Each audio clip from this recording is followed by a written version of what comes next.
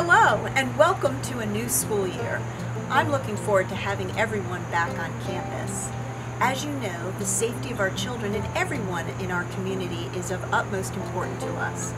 I'd like to ask you to watch this short video about our carpool rules and procedures and make a real commitment this year to help us keeping everyone safe on campus.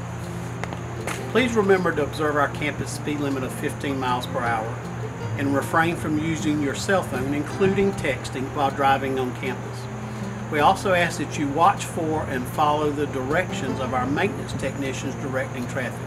Our goal is simple, to assist you with navigating through the flow of traffic as safely and quickly as possible. Your patience and alertness will help us make our campus safe for our entire community. For parents students in upper school, enter through the head of school entrance off Newton Road and make a right turn into lots G and H. There are two drop-off options.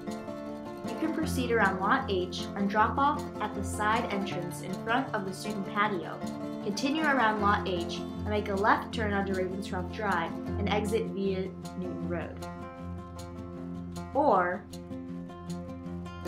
proceed around Lot G and drop off in front of the main upper school entrance.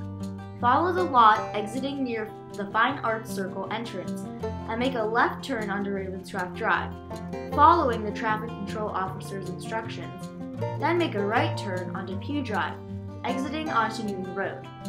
If you need to access another part of campus, make a right turn out of the parking lot, following the traffic control officer's instructions. If your family has students in the upper school and other divisions, we recommend you use the head of school entrance on Newton Road and continue to move around campus making right turns. Exit on Falls of Neuse Road. For student drivers, all seniors should enter through the Newton Road entrance and parking Lot G. Juniors should enter on Falls of Neuse Road and parking Lot B, with overflow in parking Lot A. Sophomores should also enter on Falls of Neuse Road in Lot A. Please remember to observe our campus speed limit of 15 miles per hour and we also ask that you refrain from using cell phones, including texting, while driving on campus.